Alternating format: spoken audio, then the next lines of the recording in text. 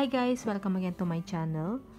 Today, ang gagawin natin ay continuation lang ng ginawa natin ng nakaraan which is yung introduction ng algebra. So, uh, kung hindi nyo pa napapanood, pwede nating balikan yung introduction to algebra natin, part 1. So, doon, uh, na-tackle natin yung about sa variables, basic algebraic equations, and on how to solve them using addition and subtraction. So, ngayon naman, ang ating idadagdag, so for the part 2, pag-aralan natin on how to use multiplication and division. So without further ado, para mas maiintindihan natin, proceed na tayo agad sa examples. Mag-solve tayo ng examples uh, using multiplication and division. So, kagaya nga ng sinasabi natin dun sa nakaraan, dun sa part 1 ng introduction natin, lagi nating tatandaan na to keep the balance, what we do to one side of the equals, we should also do to the other side. So, that's the main rule we need to remember.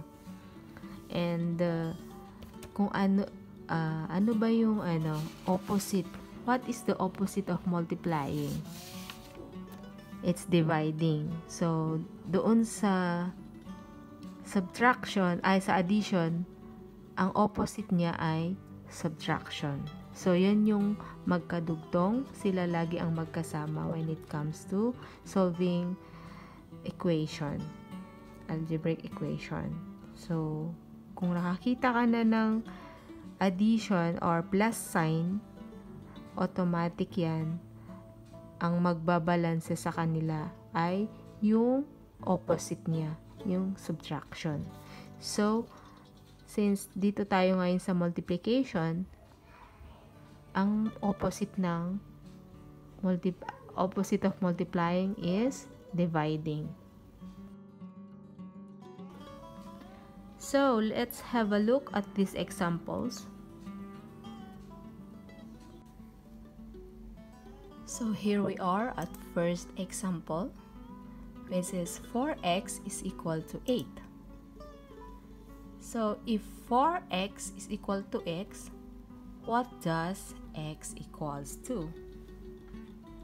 Although, pag tiningnan natin, alam na natin kaagad ang sagot. That x is equal to 2. Pero, pwede rin natin tong isolve ng malinis. Ito yung pinaka-basic na pag-solve. Ito yung pundasyon para pag mas mahihirap na yung mga problems na ma-encounter, ma-encounter natin na hindi natin masasabi yung answer by just looking at the equation kailangan mong isolve talaga. So, ito yung way, ito yung basic kung paano siya hahanapin. So, proceed na tayo kung paano siya isolve. So, nakikita lang natin dito yung 4x is equal to 8. So, paano maging multiplication yan? Tanungin nyo. Sa equation kasi, hindi natin pwedeng isulat yung x, yung symbol ng multiplication. That can be very confusing. So, sa algebra, we don't use the multiply symbol between numbers and letters. So, parang ganito kasi yung itsura niya. Behind it, yan talaga, ganito talaga yung real picture. Ito talaga yung itsura niya, 4 times x. Yan yung physical appearance niya talaga.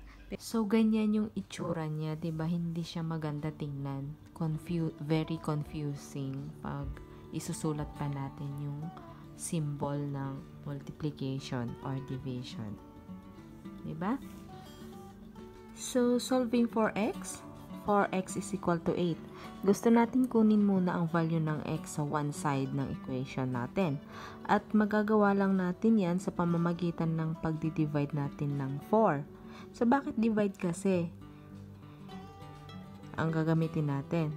Kasi ngayon ang opposite sabi natin, gamitin na uh, para ma-eliminate natin, dapat opposite ng multiplication. Kung ano yung symbol dyan, kung kung addition yan, subtraction. Pero, since it's multiplication, divide ang gagawin natin. So, and by doing that, sa one side, syempre, gawin din natin sa kabilang side yan. Divide din natin ng 4, ang 8. So, that would be 8 divided by 4 equals 2. Ayan, nakik ayan, nakikita natin na to keep the balance, what we do to one side of the equal sign, we should also do to the other side. Nakuha na natin at alam na natin ang value ng x natin. Pero look at this. May, is, may 1 sa tabi ng x. Which is, sa mundo ng algebra, hindi na natin kailangang isulat ito dahil understood na yan na may coefficient na 1 sa tabi ng x. So, solve na natin, na-solve na natin, may value na tayo ng x. Now, ang gagawin natin is we have to check for our answer if it's correct. Let's go back to our original equation.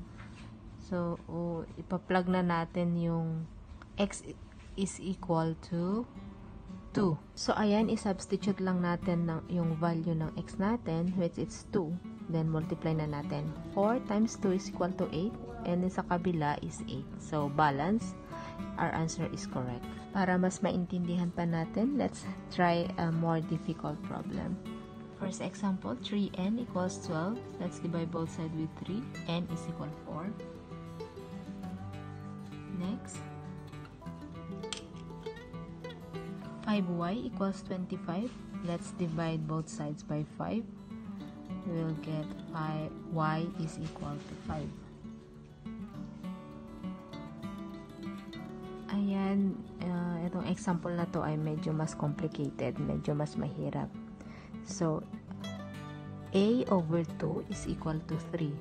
So, tinitingnan natin, medyo may pagkakomplikado, pero i-apply lang natin yung mga natutunan natin. Addition and subtraction or division, okay na yan.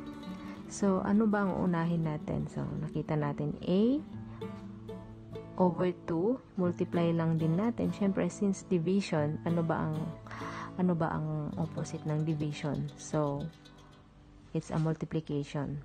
Kaya, mag-multiply tayo ng both side ng times 2. Since 2 yung gusto nating i-eliminate doon para makuha natin yung value ng unknown natin, yung A. So, A over 2 times 2.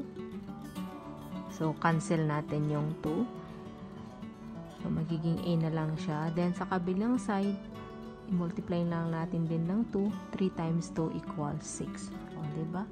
Easy peasy, madali lang siya. Hindi siya ganun kahirap. So, we have here another example. Again, it's still division. So, x over 4 equals 12. So, x divided by 4. So, divi since division, opposite niya ay multiplication. So, definitely, mag-multiply tayo both sides ng 4 para ma-eliminate natin yung 4 4 dito. So, x divided by 4 times 4 will be 1. So, eliminated na yung 4. x na lang yung natitira sa kabilang side. And then, multiply natin. 12 times 4 equals 48. So, may value na ulit tayo ng x x is equal to 48. And so, we are now here for our final example. And it seems like it's very complicated. Sa tingin, ha?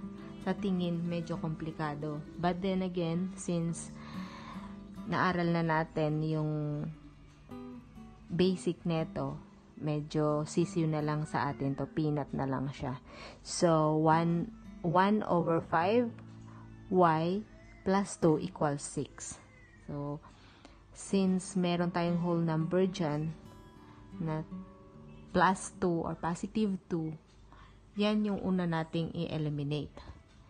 So, ano ang gagawin? Since it's addition, ang opposite niya ay subtraction para ma-eliminate natin.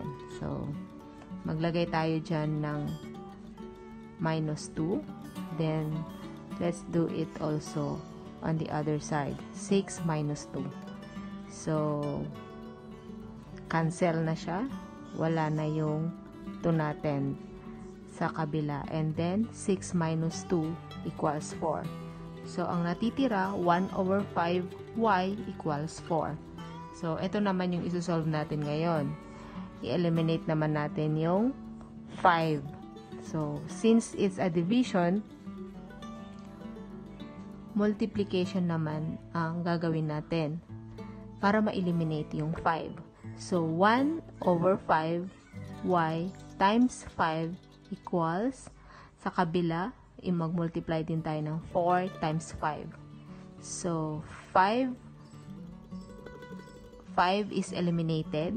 So, y na lang yung natitira sa kabila. And the other side is 4 times 5 equals 20. So, yan. May value na tayo ng y. y is equal to 20. So, ayan. Napakadali, ba? Ang dali-dali lang. So, that's all again for today. Uh, mas maganda kung panoorin niyo yung part 1 nito para mas malalo lalo nyong maintindihan at mas malinaw sa atin. Para kahit gaano pa kakomplikado mas malal, mas madaldalian lang tayo. So again guys thank you again for watching. Please don't don't forget to like leave a comment and subscribe para pa para mas updated pa tayo sa mga darating na tutorials.